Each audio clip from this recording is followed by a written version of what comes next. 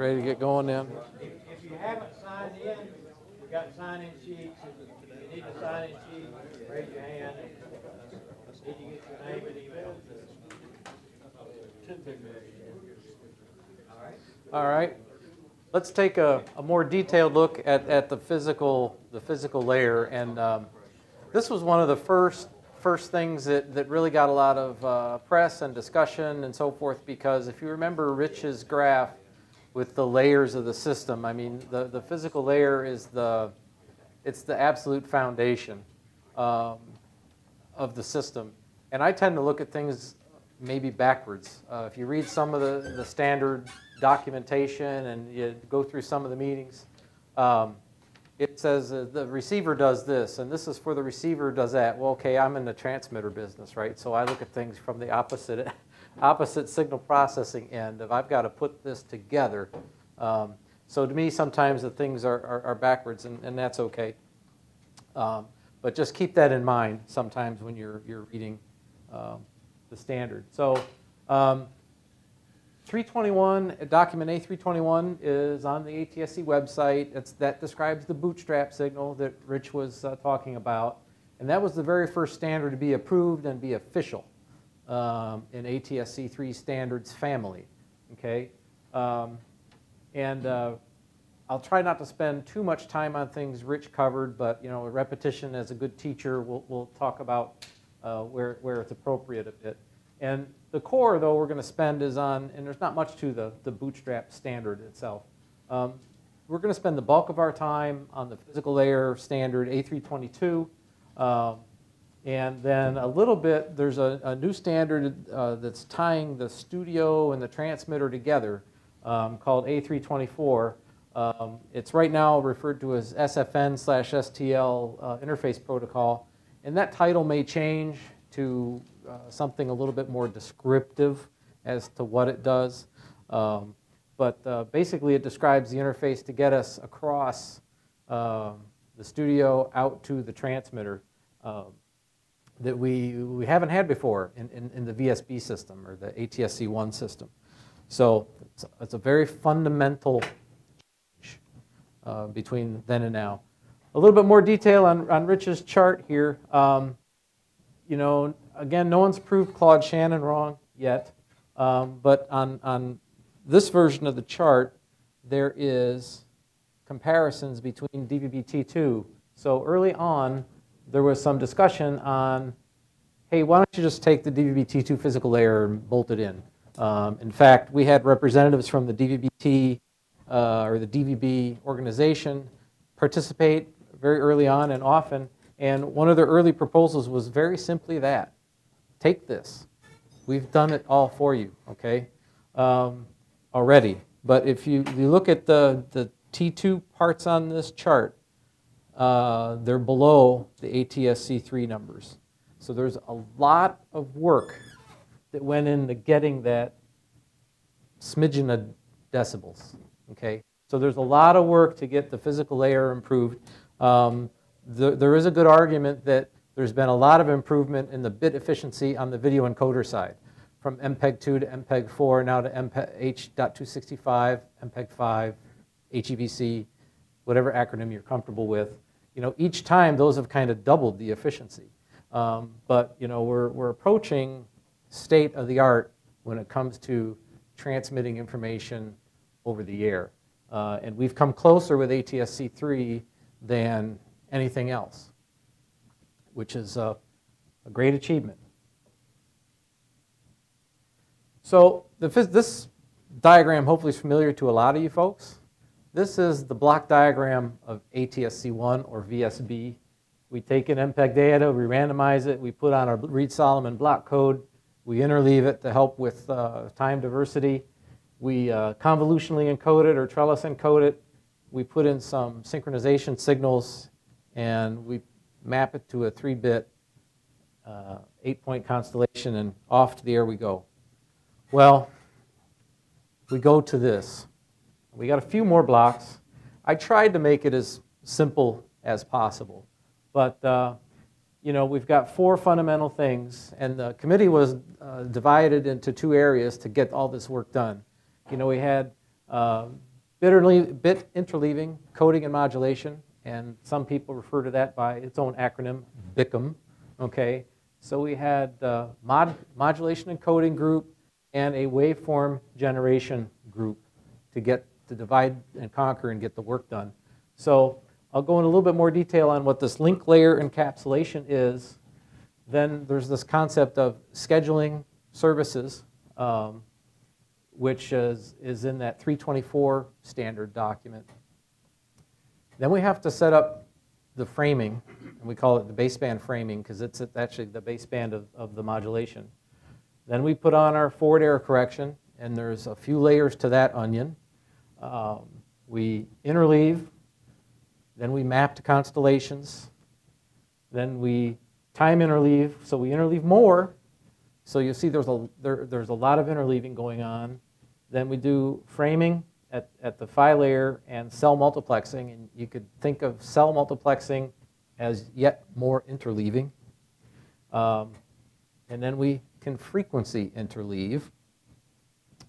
Then ultimately we generate the waveform by inserting pilots.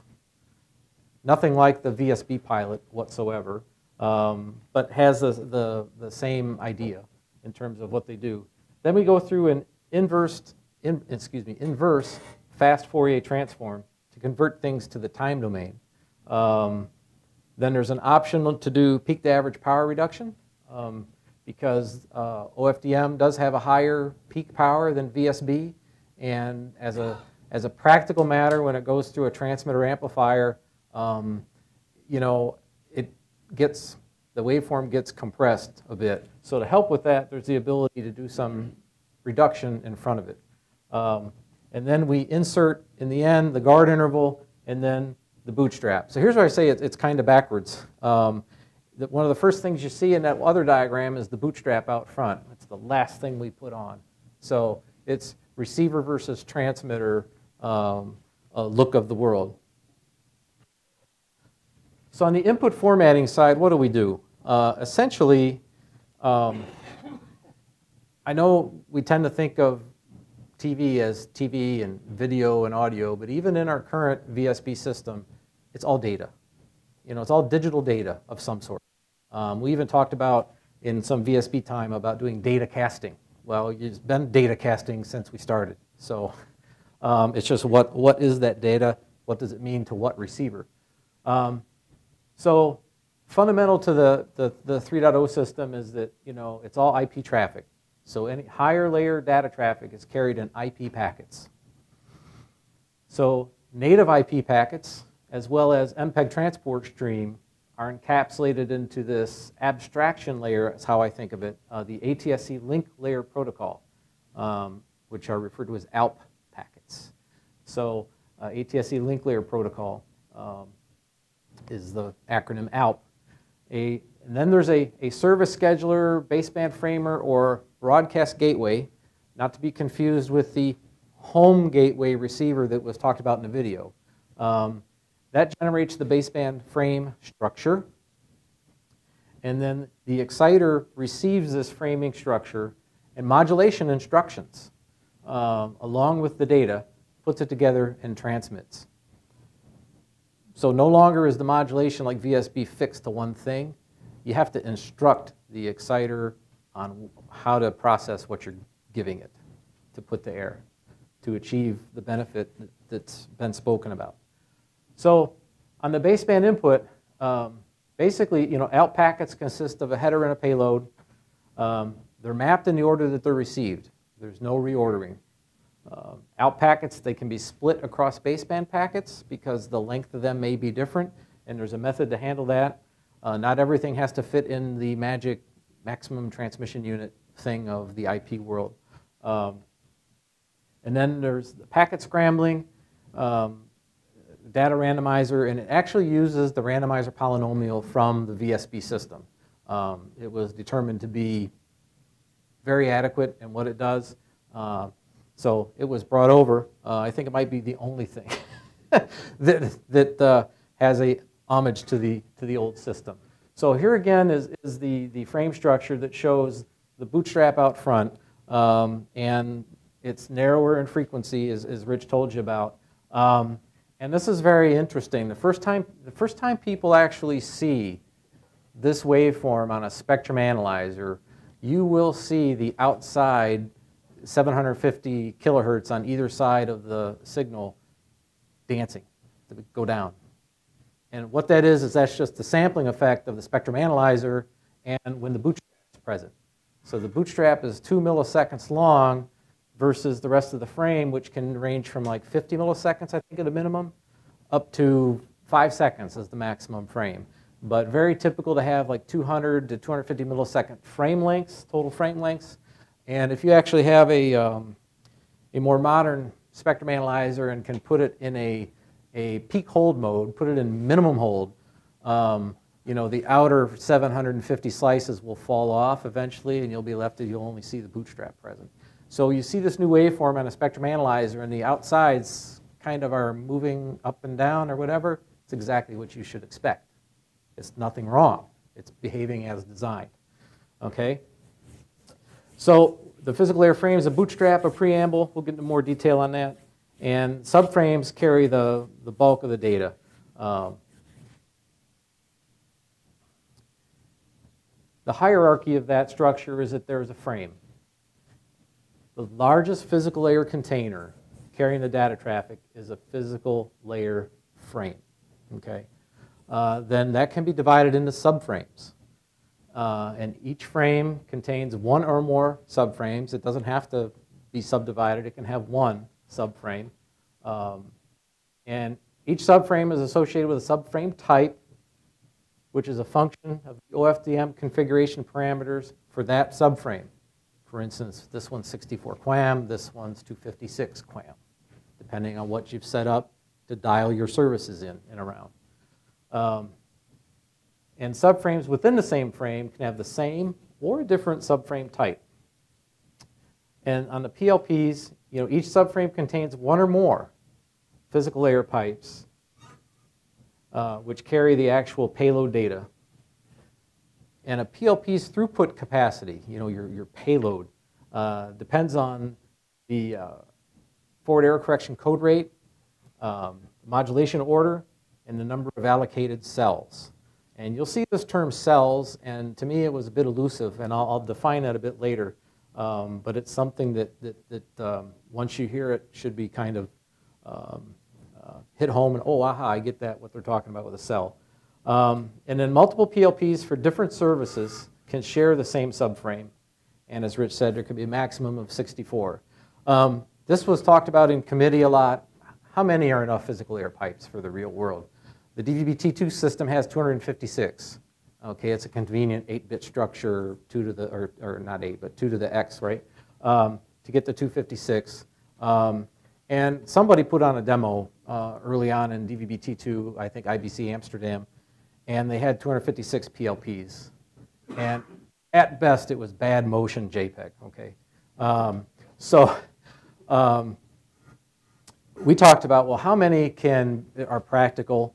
Um, a lot of people had eight services or something going on with current VSB. You know, um, several PBS stations have four or five, quite common. Um, and we thought of a scenario with uh, the configurable modulation that you know, you, you could approach 16, 20. Okay, let's do 32. And there was uh, the dialogues like, we really don't want to be limited that. So let's, let's, let's take one more bit. Let's make it 64 PLPs. So um, we have 64 PLPs that we can do. Um, so some detail in the bootstrap. As Rich said, it's four symbols long, and symbol zero is a key. Um, it's, it's very robust, and symbol zero is your universal entry point in the ATSC3 system for initial acquisition, time, synchronization, frequency offset. And it also tells you know, what this waveform is. So you can invent, like Rich said, in a future version, uh, if there's ATSC 3.1, ATSC 4.0, or just uh, you know, waveform X that somebody comes up with and makes a case and it gets standardized, the receiver can tune in to this, say, I'm an ATSC3 receiver, I've been programmed for ATSC3 services, ah, this is for me. But there could be another waveform multiplexed in in the time domain that's for something completely different. And it can say, oh, that's not for me, and ignore it. It doesn't have to process it all. It says, this is not for me. I ignore it. Well, but this is for me. I want to listen to this. Okay? Um, so it's very powerful and allows a, a lot of future extensibility. Then there's two types of emergency alert info. One's kind of the wake up bit saying, hey, I've got, some, I've got an emergency alert coming, uh, wake up the receiver. Um, and then there's further info that, that gets into, hey, if you've told me to wake up, do I want to pay attention to it or not? Um, so there's further emergency alert info in symbol number two. And then there's also, it tells the baseband sampling rate for the rest of the frame. It prepares the receiver to start decoding what comes past the bootstrap. Um, and there's two different sampling rates. The bootstrap is sampled at 6.11 or 6.144 megs, and the rest of the frame is processed at 6.912. And that establishes 1 over 6.912 megahertz establishes this concept of an elementary period T. Okay, so there's a fundamental period of time for symbols um, that's 1 over that sampling rate, essentially. And then symbol 3 carries signaling for the structure of the preamble to follow. Um, tells it what FFT size is in the preamble, um, the guard interval that's used, pilot pattern, and forward error correction. So it prepares the receiver to decode the next step, okay, if it's gotten that far. So we have the concept here of the preamble. Uh, it's referred to as layer one uh, signaling or L1 signaling. So um, I forget the name of the layering model, but there is a there's a, there's a layering model of, of modern communication systems. Um, anyway, so if it comes to anybody in the room, shout out. Um, but anyway, so the, the um, you know, in, in, that layered stack here, this is layer one for the physical layer, uh, is what's carried in the preamble. Um, and it, it's basically control signaling that operates in a hierarchical manner. Um, and it enables efficient organization of the, of the control signaling. So there's actually two parts. We have basic, and we've got detail. So the bootstrap serves as the entry point, and um, as I said, the bootstrap, I got a little repeating here, decoding the L1 basic portion of the frame's preamble. So the bootstrap tells us how we can decode this basic information. Um, then the basic gives us information on how to decode the detail and what details we might be interested in. And the L1 basic is limited to 200 bits. So it's fixed now by the standard. But the L1 detail can expand in based on what you've told it to do. If you've got 10 PLPs and you've got them all configured differently, um, the L1 detail signal is going to grow to be able to communicate all that to either a receiver or an exciter to configure itself. Okay, so it can grow, grow and uh, grow and shrink. And actually, in the in the DVB-T2 space, they've got a similar construct to this, and the L1 signaling was not scrambled. Um, and they found that when the amount of L1 detail got large, they could actually affect the peak to average ratio of the signal. So there was a revision of the T2 standard that randomized it um, to be able to uh, keep the signal parameters uh, more uh, friendly to things downstream. So then ultimately, you know, L1 detail has the variable length as required, uh, as I mentioned, uh, describing the remaining subframes. Um, so in, it contains parameters required uh, to extract, decode, all the PLPs that you've set up. All right? So it was a layering process. Now in the forward error correction, you've got essentially, uh, you've got a, well, you've got a lot of choices, all right? But at a fundamental layer, um, there, there's some basics. First, there's outer code, all right? It's applied first on a PLP data uh, to the baseband, and three choices of um, BCH codes, uh, that can correct up to 12-bit errors. Lots of committee debate. Does it really help or not? But there, there is a, um, a phenomenon with LDPC codes, uh, low density parity check, another uh, acronym for you. There's a phenomenon where their noise floor can, their error floor can, it can uh, rise up or just floor out when you'd expect it to tail down some, it can floor out. The um, BCH code can help alleviate that to a degree, and it can correct up to 12-bit errors. CRC, as the acronym implies, does not do any error correction. Cyclic redundancy check, it is simply that. It's a check. It's like the guy that's at the bank. You know, he's like, oh, there's a bank robbery. I'm, I'm, not, a, I'm not a security guard, I'm a security monitor. I just tell you when there's a bank robbery. Uh, CRC is just telling you that there's errors, okay? Um, but it's good to know. Uh, and the third uninteresting option is you can have none, right? You can turn BCH off uh, and CRC off. Um, if you're tweaking your bandwidth to the ultimate uh, squeeze, you can turn those off. So then we apply inner code uh, to the output from the outer code, and that's where the LDPC comes in. It's uh, either 16K or 64K. You've got two choices there. Um, and 16K did, uh, is tailored to short frame stuff, um, SD content, small PLPs, mobile, think mobile devices, things that want to process things short, fast, okay? Uh, and then 64K or long codes for longer frames, uh, longer data duration. Then there's a, a, fractional code rate that's applied to that LDPC from 2 up to 13 fifteenths um, for high tunability of robustness. So you can really tweak this. There's no longer just this Reed-Solomon block code of this number and this trellis code of this number and you get what you get. You can set this up to your almost your heart's desire um, for PLP tunability. And the case of payload, the amount of payload you can take depends on that outer code, inner code, and code rate, of course. If you set it up to be very robust, you're going to reduce the payload you can take. If you set it up to be uh, not so robust, you can take a bigger payload. Um, so um, there's balance there.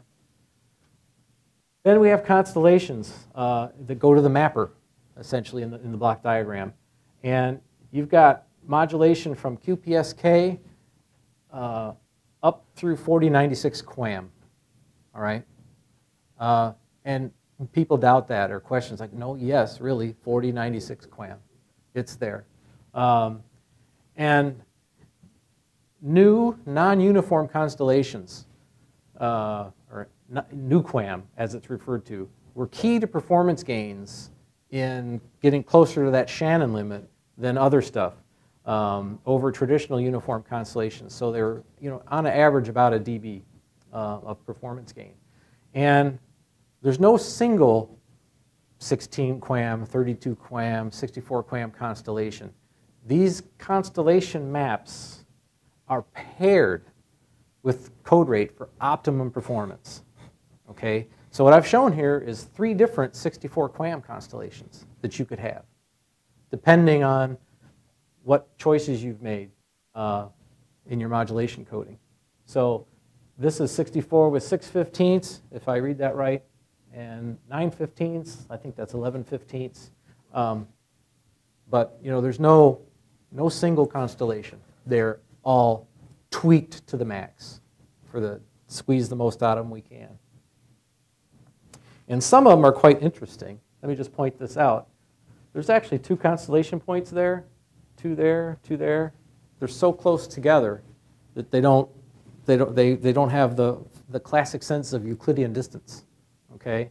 So the LDPC code has to have an iteration effect to pull that information back out. Rich mentioned the layer division multiplexing. Um, is it correct that the content does not have to be the same? Right. So the use case Rich mentioned is kind of like when you go to uh, the internet and you pull up a map or a picture and you get a quick picture but it's fuzzy. And then all of a sudden it's nice and clear, right? So that would be the same content encoded in a different rate. So an SD picture and a 4K picture but they don't have to be the same, okay? Because the content isn't related, it's how we encode it at, at, at the exciter. So you could have actually a different underlying content as a base content versus a big content. And you could target, you could target regions within the coverage area based on, on how, you, how you did that. Uh, so it uses a, um, But like Rich said, it's more efficient because they share the, uh, more efficient than if you were to do the same content approach. It's more efficient than doing um, a- two different PLPs because they share some physical layer resources, okay? Um, And they can be injected, you can tweak this, they can be injected at a different level. Okay, so you can tweak how they're injected uh, and how they'll be decoded. Can I ask you a question about Yeah. that? So you're saying that you start out with a, a low-resolution map, and then when it comes to the high-resolution map, it's a whole different map or something totally different? Mhm. Is that what you said? Okay. Yeah, and in, in, in, in, in, in, you know, in TV space, right, I think of it in terms of more like uh, advertisement, all right? In that uh, you might have an ad that's in the high-level one that can be received in the entire uh, area that's, uh, you know, a political, uh, a, uh, I don't know, a national type ad. But you might have a local ad for a local political race. Well, just put that in the other PLP to target that district. People over in this district don't care about that guy, right? So you could potentially use this for applications like that as well.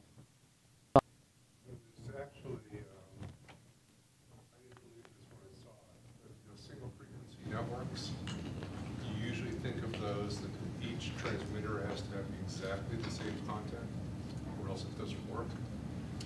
With LDM, you can actually have one of the layers be different, the le- the less robust layer, and you can target different content for different areas in a single SFN, which just sounds totally wrong. Yes. Until you actually go through and work it out and it works. So there, there is some magic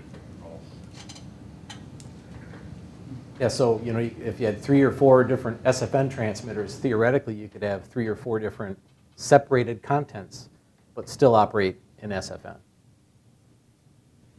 So, that the receivers would be GPS enabled or otherwise enabled to know their own location and thus you transmit in your layer?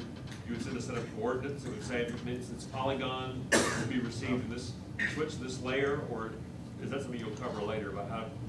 uh, So, so in your Yeah. scenario, you've got the, the five different SFNs or three different SFNs, In- In the case of the SFNs, the receiver doesn't know or have to know where it is. It just is, it sees different strength signals. I see.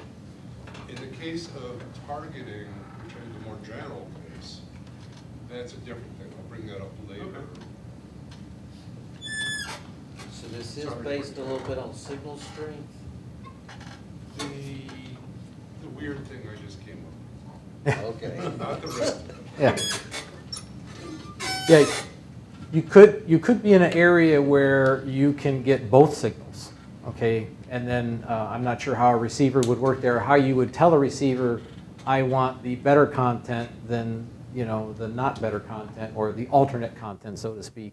But you could be in a geographic location where the receiver can't receive the less robust, but it can always receive the more robust. And then in that case, it's the only thing it's going to decode and work with. But if your signal's going up and down a little bit, then it's gotta do some figuring if it's gonna try to go to that and jump back and forth. Agreed. Um, so Rich showed this too at the LDM constellation with the signal adding. Uh, and I, uh, so let's say we put the very, in, the very core robust service in a QPSK, and then we choose a 64 QAM constellation for our higher, less robust service. The LDM constellation is, is, is that 64 QAM constellation riding on those four QPSK points, right? So you see the four 64 QAM constellations superimposed on the others. So um, that's what's happening there. That's not a- an invented new constellation. That's, that's the, the physical um, reality. And on the receiver side, it's essentially uh, the reverse mathematics happens, right? And if a receiver, uh, let's say it's a mobile receiver, you've put up, a, you've put a very robust service to target a mobile device, um, like a phone, tablet, uh, future, whatever it is, okay? Um, if that receive device only wants to get, or you've told it only to get that core service, it can, it can uh, receive, process, and get the decoded core PLP, and it does not have to do any bother processing the enhanced PLP. Okay, so it doesn't have to, you know, go through and, and uh, you know get the 64 QAM out and figure it all out. It can decode, it can do the math and get only the core and move on with life. Okay, and just drop the rest of the data. It doesn't need to process it other than to do its its subtraction. Okay, time interleaving. It occurs following modulation on a per PLP basis. Okay, so you can you can tweak this, and it provides, of course, time diversity um, by spreading out PLP data cells in time. It's at the cost of additional latency, right? Uh, depending on the interleaver depth. So the options here are you've got a couple of handles. You've got a convolutional time interleaver for a single PLP, what's referred to as a hybrid time interleaver that uses uh, a couple of uh, structures that are for multiple PLPs. And uh, you could do the uninteresting case, or sometimes refer to this as the troubleshooting case of no PLPs. Um, I mean, no interleaver. Um, so that you say, what's going on here? Is this isn't working out right? Oh, they bypass it. Oh, it works. Oh, there's a problem in there. Um, our guys have been there. so you can see the data coming in all in order. Um, and at first, the, the first, the first uh, cell goes out in order, but then, you know, this convolutional commutator, very similar to the VSB side. It's a classic convolutional time interleaver where the data comes out in that convoluted order convoluted being a technical term, not a term of uh, just dismissing. Um, then the hybrid time interleaver is used when multiple PLPs uh, constitute a single service. But each PLP is interleaved separately. Um, so there's a mandatory twisted block interleaver. Um, this kind of graphically looks like the DNA model to me. Um, and then there's an optional cell interleaver that does intra code block interleaving um, versus the twisted block doing intercode. Uh, and then there's a further optional convolutional delay line to do inter-subframe interleaving. So there's a lot of scrambling this data around to make it robust as possible. Then we can do further cell multiplexing. Um, and cell multiplexing essentially assigns modulated symbols of PLPs to actual physical resources that are referred to as data cells within each subframe. And here's the definition. What's a cell? Okay, a cell is essentially the content of one OFDM carrier over one symbol period. Okay, so I, have always had this picture in my head of the OFDM uh, where there's multiple carriers and each carrier has some constellation going on it, right? over time, over time, over time. Uh, so at one instance in time, one constellation point for that symbol period is a cell. Okay. Um, so the cell multiple the parameters are configured and signaled on a per PLP basis, and they provide great flexibility for packing the multiple PLP or multiple PLPs into a subframe. And the simplest cell multiplexing occurs when only a single PSP, single PLP is present, of course. So the, have these diagrams here. There'll be a few coming up of time and frequency axis. So um, again, I think of this as time and frequency of this is across your bandwidth of your spectrum analyzer if you're looking at it like that, and then uh, then sample time, how it's changing every time the, the, the device samples. So we can do some further multiplexing or advanced cell multiplexing, as I've called it, uh, which is time division multiplexing for non-dispersed PLPs, here in this case, A through F. So you can see that at time and frequency, we've done some um, time splitting of the PLPs. So you don't get all at once. You get PLP A, B, C, D, E. But then you can add further diversity by subslicing an interleaving, right? So these first two PLPs are um, done in a, uh, you know, the TDM fashion, but then, or FDM fashion, but then we can take PLPs C through F, subslice them and interleave them further. Okay? Then we can also do frequency division multiplexing of PLPs A through F. So instead of going in the time domain, we split this up in the frequency domain. Um, then we can combine those two if we want to do time and frequency division multiplexing. So you can see the combined effect of the chosen parameters here for PLPs uh, A through F. So there's lots of ways to slice and dice the information.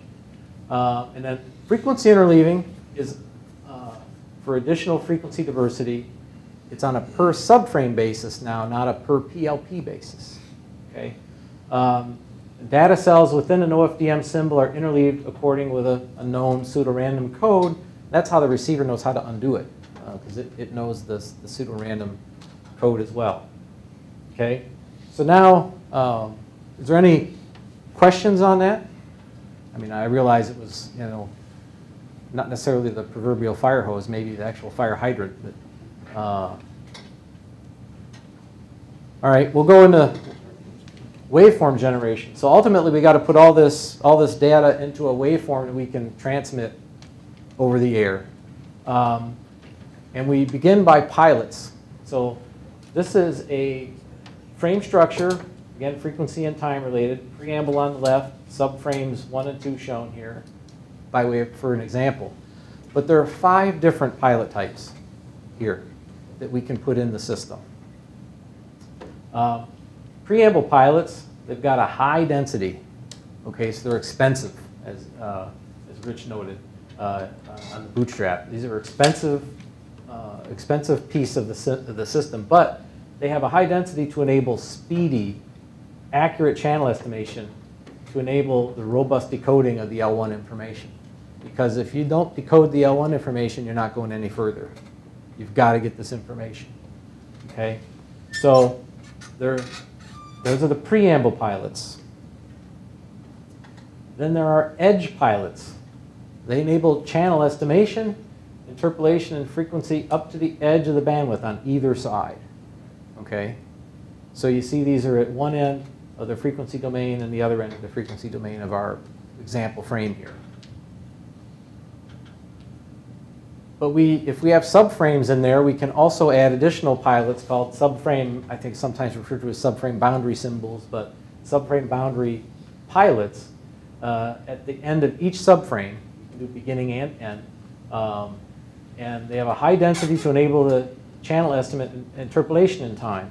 So now we have pilots that are across the frequency end, but also now we've got them interspersed in time domain to help. Then there's scattered pilots, or SPs.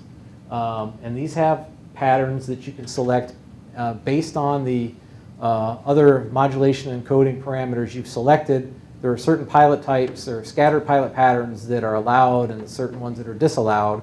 And that's all by design. Similar to the constellation mapper, certain pilot patterns are ideal and certain ones are just don't actually work well.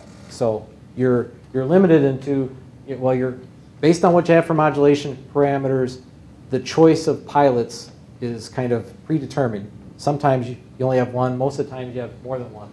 Um, so the, scattered pilots enable channel estimation within the subframe. So you see there's a lot of pilot going on here to allow a receiver equalizer or channel estimator to, to figure out and equalize the channel and receive this information.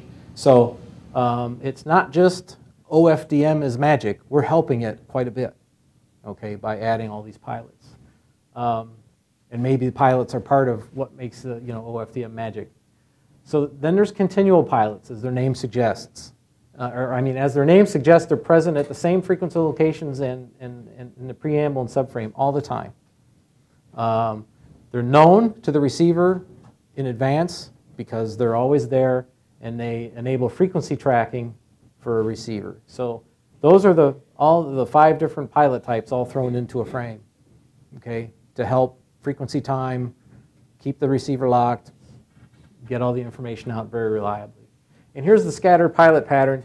Um, you'll see it referred to in terms of DX and DY. Pilot pattern 6.2, pilot pattern 12.1, um, those kinds of things is, is how you'll see it uh, referred to in the documentation. See 3234, 6284, and that's um, the distance in x, or time axis, distance in y, frequency axis. So you can, by looking at, at the pilot pattern choices you have, you can say, oh, I can put in a lot of these in the frequency domain. That's what I want. Uh, or I want, you know, less in this domain versus the other. So referred to as dx and dy values on the pilot pattern. So let's get into guard interval a bit. This is one of the big parts of the magic and, and what makes uh, SFN work uh, very friendly. Um, you know, a lot of us have dropped the use the word C uh, in terms for coded because no engineer in their right mind would put anything uncoded on the air these days. Um, so it's always coded, but orthogonality um, corresponds to time and uh, frequency, and then FDM, frequency division multiplex, which is multiple carriers, of course.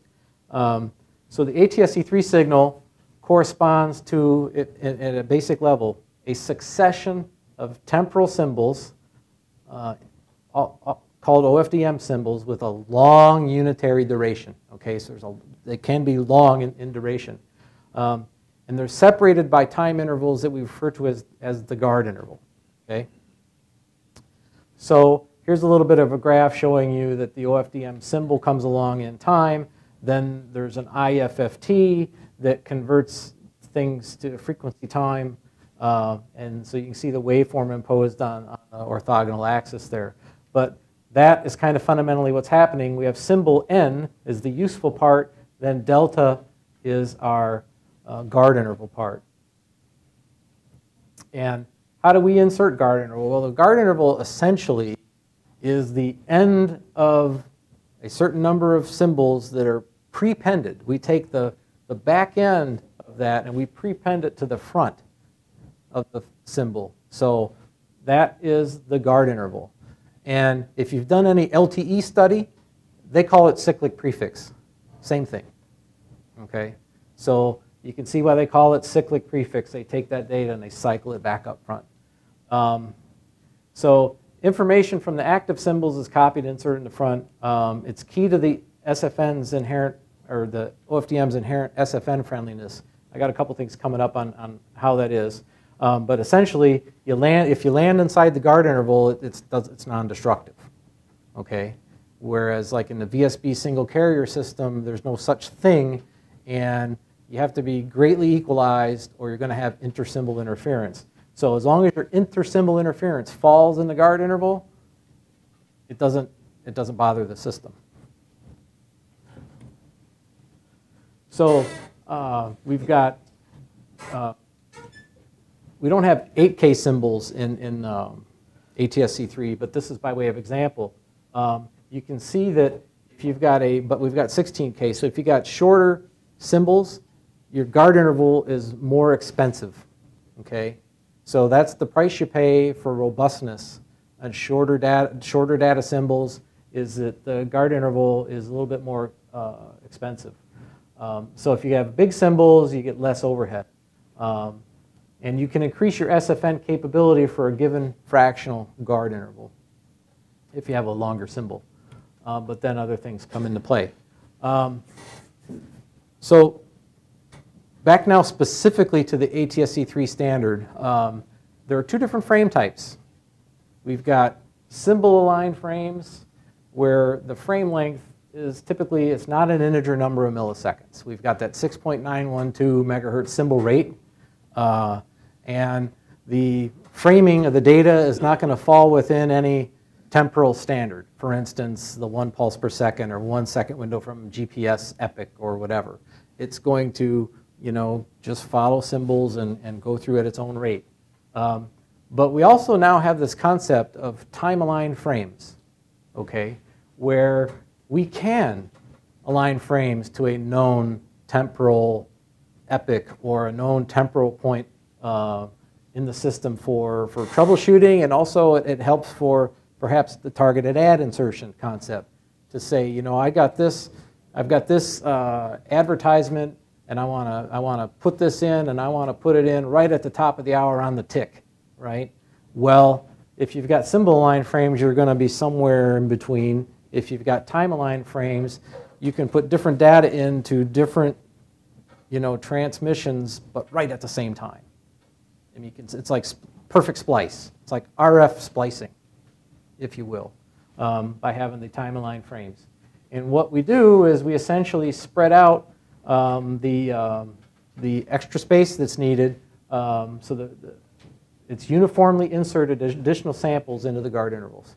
So that's how we achieve that. Um, but um, uh, that, that brings about some, some new possibilities um, for the, the standard and at the physical layer. Like I said, I consider it like RF splicing capability. So SFNs, um, you've heard a lot, maybe if you've been reading anything, uh, ATSC, it's hard to miss it these days, but it allows SFNs, allows SFNs. Well, how, how does it actually do that, and why would you care? Um, as Rich pointed out very early in his slides, you know, broadcasting environment is changing. So, um, you know, the, um, the academic community has a thing about writing papers, you know, publish or perish, write papers or die.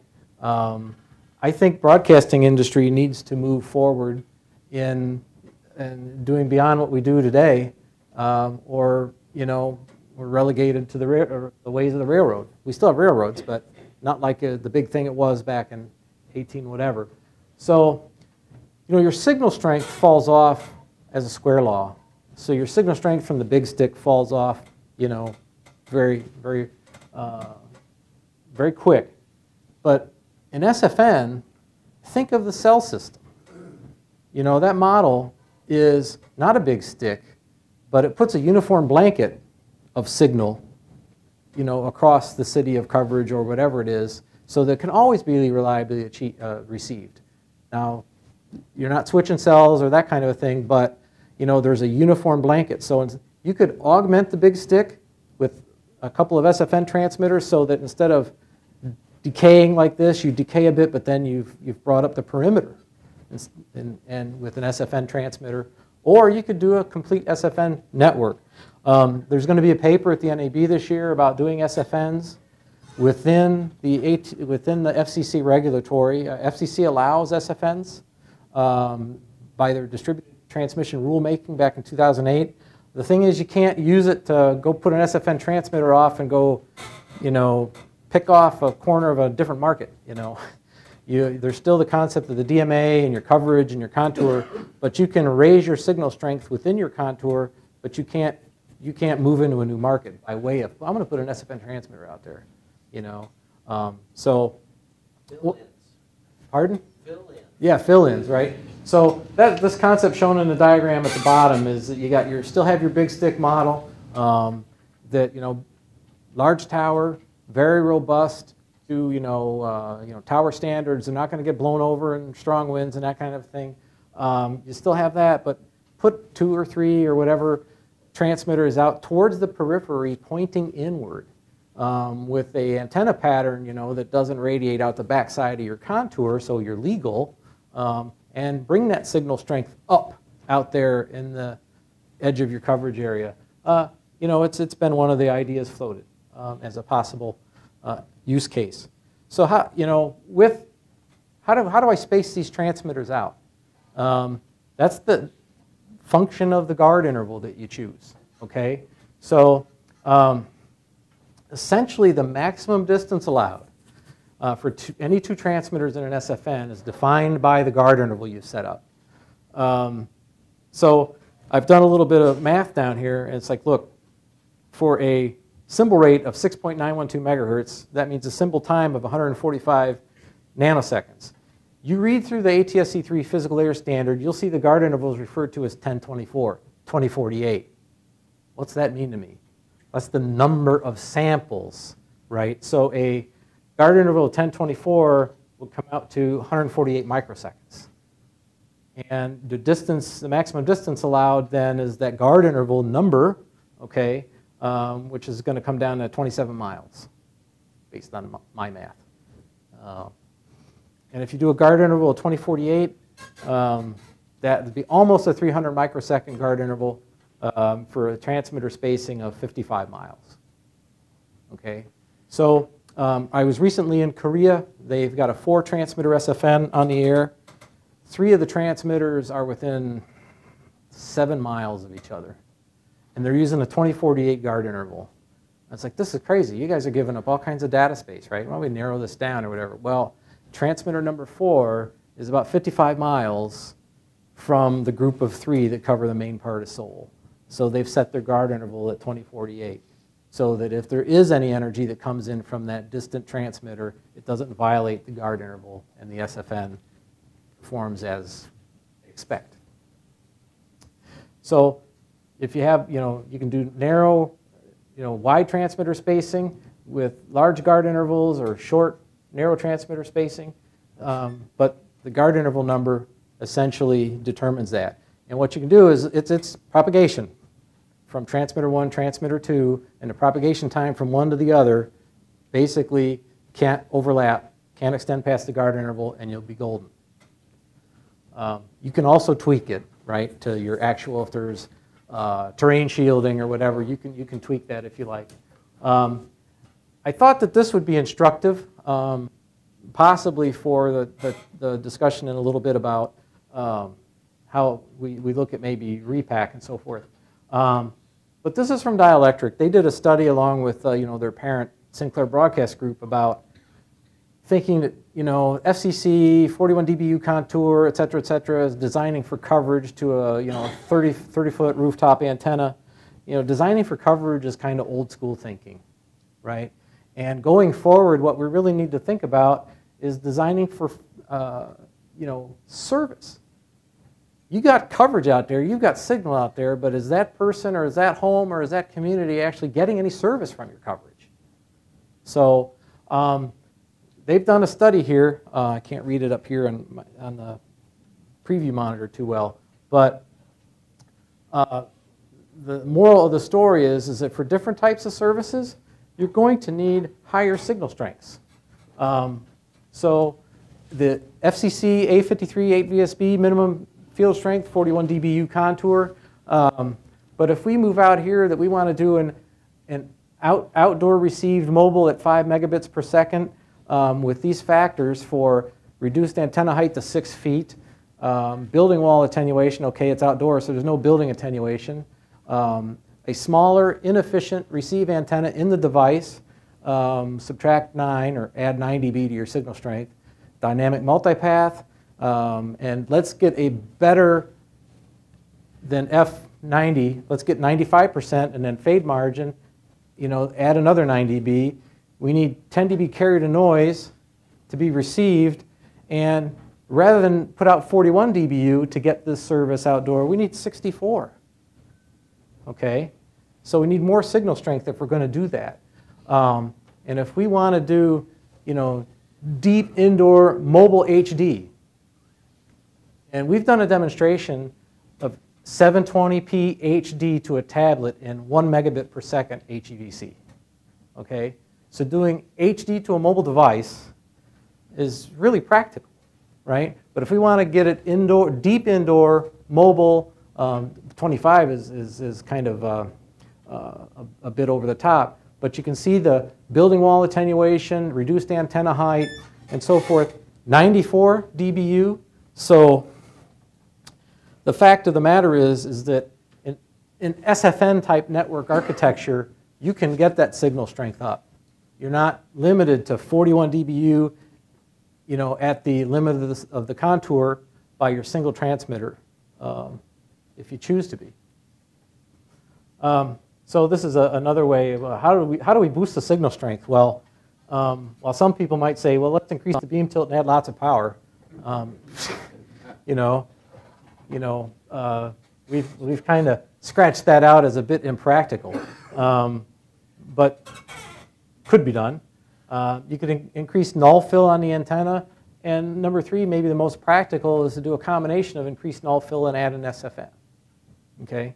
Um, so you go from this coverage on the left, where you've got you know, indoor, outdoor portable, and fixed in-home gateway service, fixed HD, and out here you've got no service. You know, this contour now becomes where you've got pocketed indoor, outdoor portable, deep indoor mobile HD, you know, you can, you can break up and tune and tweak how you, how you cover within your service area, right? Instead of just that's what it is and that's what I have to live with. No, you don't.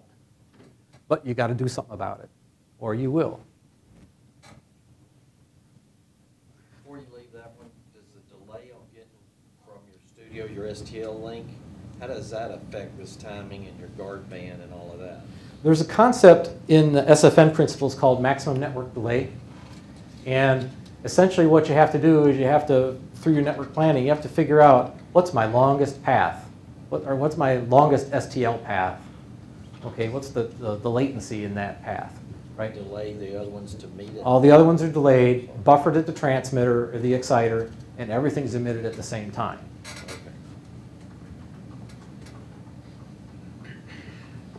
Optional feature, MIMO. You may have heard this referred to with the latest uh, router you bought for home, right? Um, and I, I, it's like multiple input, multiple output. Um, think of it as multiple transmitters, multiple receivers. Multiple transmit antennas, multiple receive antennas. Or multiple transmitters, multiple receive antennas. Um, so it does enable a higher channel capacity. Um, data is demultiplexed into two streams prior to modulation mapping. And each generated waveform is transmitted by a separate antenna. So um, think about that in terms of tower work.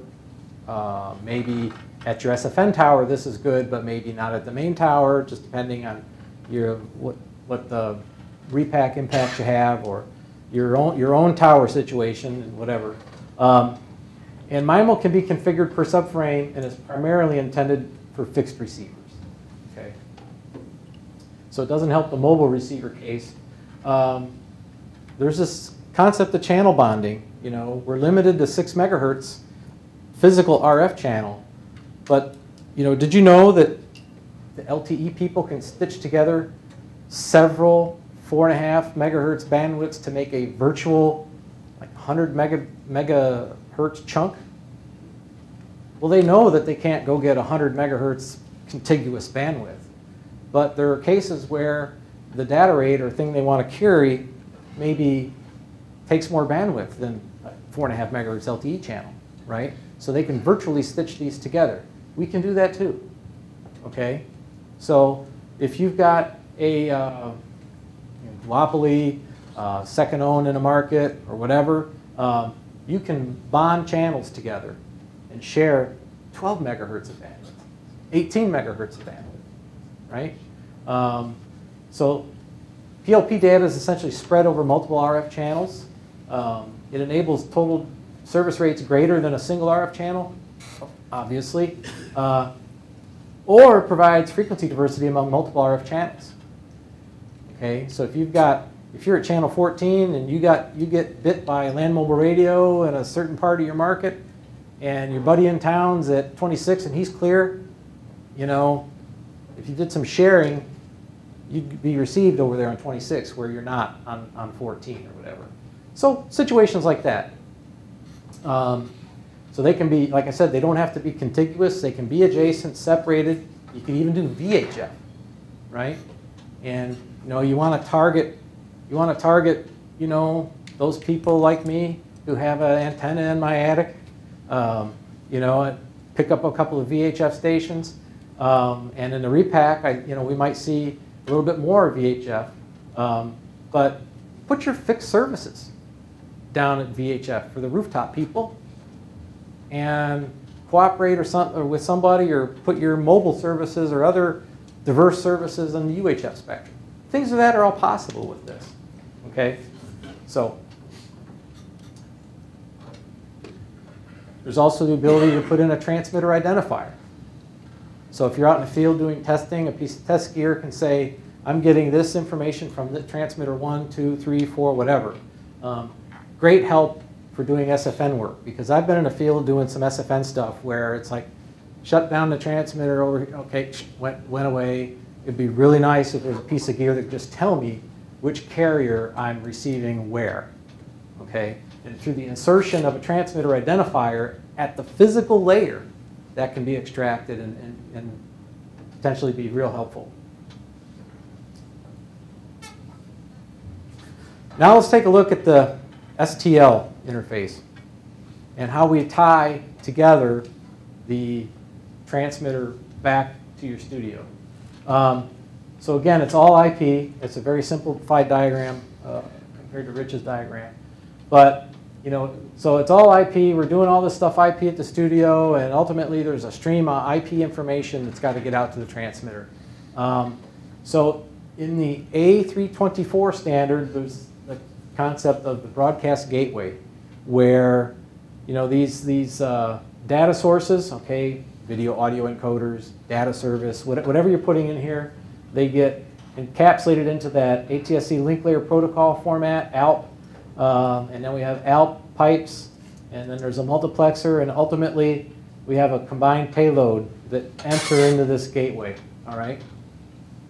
And this gateway is actually a physical device of some sort, you know, uh, and that, that's going to be at your studio side. All right? And you set up and manage here how you want these PLPs to go to air. Because you don't want to be going out to the transmitter and saying, I got six PLPs and go to every transmitter if you got an SFN and, and then change the PLP configuration at the exciter manually uh, or whatever. This can all be done and is all done at the studio side and also through um, you know, station automation, system, system manager kind of things. You can configure PLPs at the physical layer to come and go based on you know, drive time uh, or, or whatever. Um, or there's a, uh, you know, the president wants airtime and, and people are upset that they can't get whatever program there is. Well, hey, set up a PLP and run that program downstream. Um, you know, it's still available. People don't want to listen to, you know, the political talk or whatever. Um, so, you know, this can be all tied together. Get the cursor back uh, by this this broadcast gateway. So at the gateway, you're actually controlling the construct of what you're brought you have on air at RF. Okay. And uh, not to beleaguer the standard here, but uh, or, there it is. You know, but ultimately we end up as one IP stream here out to the transmitter. So the transmitter uh, or the STL link here isn't worried about multiple IP addresses, ports, and all that. That's all taken care of inside this process, or inside the standard, and it's referred to as tunneled. Um, so everything gets tunneled into a single IP uh, and port sent to the transmitter, and then the exciter has to undo that information and modulate appropriately. So I'm going to show you some things from a user interface of uh, a one manufacturer's broadcast gateway, just to maybe tie together a bit what, what I just talked about from the physical layer side. So it's a web GUI, e- easy to drive, um, but we, we, what's shown here is, you know, we have frame structure. How many frames are we going to have? Um, I want to add a frame. I would click on the plus. Um, then there's preamble parameters, and then subframes. I've got, only got one subframe shown here. If I wanted to add a subframe, I'd click on the plus, and I'd add a subframe. And in this subframe, I've got two PLPs. And if I wanted to trash one of them, I click on Oscar the Grouch trash can. And off it goes. Okay? But then, uh, so here's what, what we configure for the frame. Um, ATSC is not just 6 megahertz for the USA. It's also got 7 megahertz and 8 megahertz definitions. Uh, as Rich talked about, you know, maybe someday it could be used worldwide. I mean, it is the most advanced, most up-to-date television standard in the world right now. And it's expandable. So here's where we set that frame length type to be symbol aligned or time aligned. Um, do we have any PAPR, peak to average power reduction, uh, engaged? Um, these are the types, tone reservation, active constellation extension. I didn't talk about them, but that's what those acronyms mean.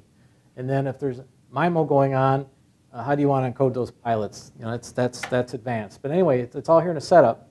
And then uh, we can transmit time information um, to the receiver. So um, the concept of uh, working in, and, and, and I think Rich will get into this in a couple of, of further sites he's got, going from the MPEG to MPEG domain with program clock reference, PCRs, and having that system encoder clock, that 27 megahertz clock, reestablished at the receiver and that kind of a thing. That concept's kind of gone away. We don't have MPEG, okay? It's all IP. And there is a provision to transport MPEG, but if MPEG transport stream, but that MPEG transport stream gets encapsulated into an ALP packet. So that concept of PCRs and PIDs, it's all gone. Um, and so is the, P, the program clock reference. Um, so there's different time references, but one thing we can do is we can transmit the actual time, UTC time, to the nanosecond when this frame goes out. Okay? So um, the DVR no, or the, the VCR will no longer flash 12. You can set your watch from the, the your, your next generation standard. Um, So what's the reason that you give options of millisecond, microsecond, and nanosecond? It's either off or on, right? I mean, I mean, why would we care how accurate? I mean, is that, is it, does it only have some effect on your payload or your, the- I mean, the more frequently you transmit the time, the more it affects? Yeah, it's a good question. I don't know that I have a good answer for it. Um, you know, one, one of the things that, that was uh, discussed with respect to how accurate does it need to be, and if we're talking like SFN timing and things like that, um, it was determined that we can't use NTP because it's not accurate enough, right? Um, but if we want to get the more and more accurate frame insertion points, then we need to go to, um, I didn't talk about it, but in the standard is the PTP, Precision Time Protocol, um, IEEE 1588, to be able to, to, to get more accurate time there. Rich, if you have a comment on that, I don't, you know, why would we transmit more accuracy than a millisecond? There's some people that if we could do, you know, femtoseconds, they would, I mean, just, just because, right? Remember, SFN, SFN needs resolution. And SFN's symbols have to be exactly aligned, and you're in that time domain. The receiver has, doesn't have a clue what to do in. Right. So in terms of data carriage and, and presentation of, of video to a decoder, no. What happened to GPS receivers? That, is that a backup or something? GPS is, is available, right? Um, but PTP is becoming, um, because PTP is actually stratum one to a GPS receiver, um, the idea is, is that you can lower your infrastructure costs. You know, you don't need two, you don't need two GPS receivers in case one gets struck or whatever, lightning strike or whatever, at every transmitter site or every, every place that you can think of. is like, oh, this, this gateway thing needs GPS. I need GPS at the transmit site. I've got this other thing that needs GPS, right? If it's all within the Ethernet fabric that is prevalent in your plant right now, right? Um, you might have to upgrade some equipment, um, but it's with, it can be carried within the Ethernet fabric that, that, that's everywhere. That's one less thing sticking in there, that's a good thing. Exactly, right? So on the uh, preamble settings, we, we have to choose uh, the preamble, what size FFT we want for the preamble, what bandwidth occupation. So there, there is, uh, you can actually do a reduced bandwidth. You don't have to do 5.9 whatever megahertz bandwidth. You, you can do a reduced bandwidth.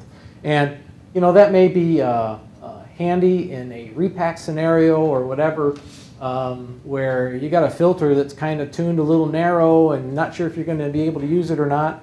You might be able to reuse it and just select a narrower bandwidth here um, and, and not have any issues. Um, but you- just another knob you can tweak. Um, here's where we set our guard interval for the preamble. Okay, so this is set at 2048 to be consistent with the guard interval used at the rest of the physical layer. And then what scatter pilot pattern do we want? You can see in our chosen 16K, 97% bandwidth, and this guard interval 2048, um, this equipment manufacturer has basically put in rules from the standard that says, you know, you can't use these pilot patterns. The only one available to you is this one. So it helps you keep out of trouble, right? Because you could get in a configuration that's not legal, not receivable, not transmittable. Um, so going through this actually can kind of help you understand some of the, some of the stuff in the standard. Um, Then in the L1, we set up our, once we've set up the general information in the preamble, we set up the uh, L1. Went forward, there we go. Um, So there's different modes in the L1 configuration. Again, L1 basic and L1 detail. Mode 1 is the most robust. It uses uh, code rate 315, um, 16K F, uh, forward error correction. A QPSK constellation is the most robust one we've got. Uh, you know, so it's a very high robustness, right? Um, so quite often, L1 detail and L1 basic are set to the same, um, but you can you can choose here how you want to set that up. Um, you know, and if if you've got uh, if your transmitter is in the Flat Earth Society and you know there's not a lot of challenge to your terrain and you, you want to do just a single Ultra HD pipe, you know you can conserve some bandwidth and go to one of the less robust modes. But quite often, um, you know, it, people just so far have just run the most robust mode because they don't want any questions, don't want any any issues. And then here's where we set up this, the PLP configuration in, in the subframe. So you'll, you'll, we can give it a title here. It's, it's very um, uninterestingly titled subframe zero. Um, and yes, uh, you know, binary people start counting at zero. So we've got PLP zero through 63, not PLP one through 64. We've got subframe zero. So um, it's a legal value, especially in the digital world. So um, again, we can choose our FFT size. Now this is limited um, because we've chosen 16K FFT mode for our preamble. And the first subframe has a rule that it has to have the same FFT size as the preamble. That allows the decoding of the first subframe to begin without the receiver having to go through all of the L1 detail and figure it out. Okay, so it's for a speed of recovery. Now, if you've got a second or third subframe, they can be different. Okay, but the first one has to be the same as the, as the preamble. And likewise, the guard interval is limited to the same number, um, but we've got different pilot patterns we can choose. Um, and then there's also the concept of pilot power boosting. Okay, so we can have the pilot power boosted with respect to the data pilots for to aid a receiver for equalization and channel estimation and so forth. Um, so there's you can choose what level you want there, and then here's where the subframe boundary symbols or SBS, uh, which was a subframe pilot. You know, do we do we want to we want it at the beginning of the frame um, and end of the frame in this particular mode? Uh, we have to have one at the end of the frame, um, but we can optionally have one at the beginning of the frame, right? So we can tune that. Um, then you've got data symbols per subframe, and if this was a live piece of equipment, based on these parameters you've chosen, you can hover your mouse there. It'll tell you how many symbols you can use, right? And how many, that'll determine how many uh, FEC frames or forward error correction frames you have. Um, and then do we, do we have the frequency interleaver enabled or disabled? Um, so then we have an output, or, or, excuse me, this is, this is the input setting, right? Um, so for PLP1, I've set this up. It's like, you know what? We've got an encoder out there that's putting our, our information out on this IP address, port 5001, okay? And this is actually somewhat, I say somewhat, it's standardized. PLP0 has to be on port 30,000, 0, PLP1, I think on 30,001 um, as part of the standard, so up to 30,063. Um, so, so this one is, is uh, perhaps in, in, violation of the standard, but as long as the information coming in matches, it's going to go on the air for this uh, configuration. Um, and 239.235, you might rec- or 255, you might recognize that as a multicast address. Okay, so all of this, because it's broadcast, is multicast. All right, so it's not unicast anymore; it's multicast. because we can't afford TCP going back. Did you get the packet? No, resend it. No, it's broadcast. It's, it's going, okay?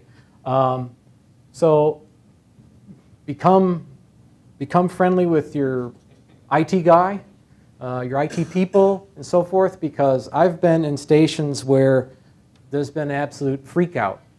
We can't allow multicast. It'll flood the, the oh, you know, the world's going to end. No, no, no, wait. You know, um, but that was that was five years ago. Hopefully, there's a lot better understanding now on what multicast is. You put something on multicast doesn't mean it's going to go to everybody's desktop and bring your network down. I mean, if you configured it that way, you could.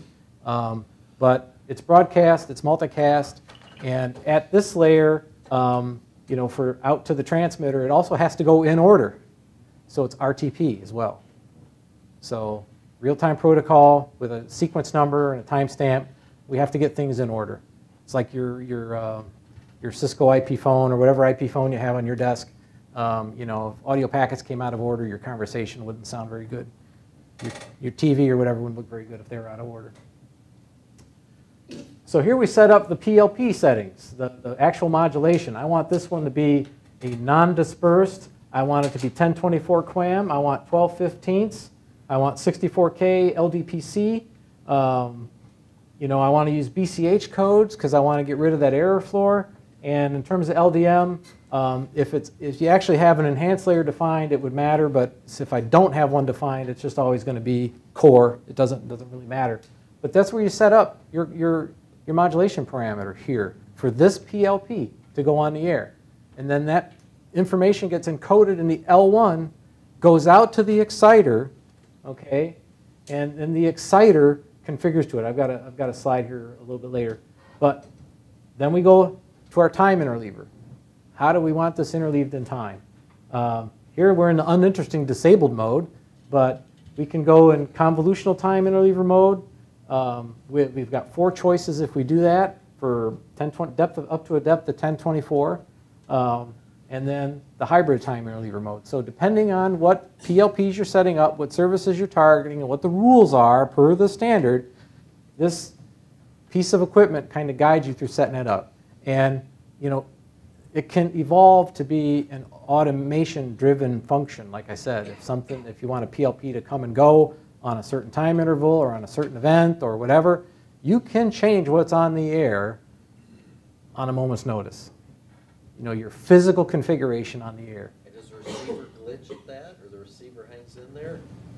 Ah, hard to say, right? Okay. So, yeah. So what you do is ultimately this is encapsulated into that tunnel I mentioned. So in this particular setting, it's been set to be, a, again, another multicast address, uninteresting 239002, port 8000.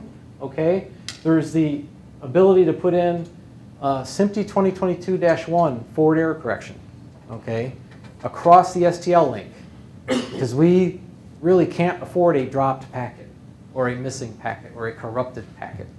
So SMPTE 2022 has been coded into the standard for forward error correction. Um, you can set up other parameters for the uh, IP packet in terms of MTU size and so forth. And if you have transmitter identification going in an SFN, that's where you would enter them and you can manage your offset of the SFN by that transmitter identifier. What's your timing emission from the, from the multiple SFN transmitters? They don't have to emit, you know, yes, they have to emit the same thing at the same time, but put an asterisk by LDM, um, but when do you want them to emit? Do you want to, you know, tweak for this guard interval uh, and, and, maybe have a slimmer guard interval and uh, adjust your timing so that you don't have to have such a big one, or you just want to rely on the guard interval? you have a choice. So like I said, the, the, uh, the broadcast gateway puts that out, the exciter receives it, and we've told it to listen to 239.002 port 8000, and lo and behold, you know, it's getting IP packets and so forth, and then we've got some confirmation on what mode is this PLP in. So I'm in subframe view number one, PLP number one, um, I said it was supposed to be zero, but um, PLP1, zero, 32K FFT, 2048 guard, number of symbols 39, our scatter pilot pattern. It reads that all back to you, right? So you've got confirmation out, out at the transmitter. um, what's going to air for this PLP that should match what your gateway setup is, right? So, um, you know, if this was VSB, it would say Reed Solomon 188, 208, well, 187, 207, uh, you know, and it'd be hard coded. But here, it's receiving from the L1, it's configuring for this PLP, and it's, it's hauling the mail in that configuration. Okay? And it can be configured and changed and very, very flexible. And I think that's it. They just brought the food. Yeah. Uh, we can take a break now, and we'll let the, uh, the ladies from the ABA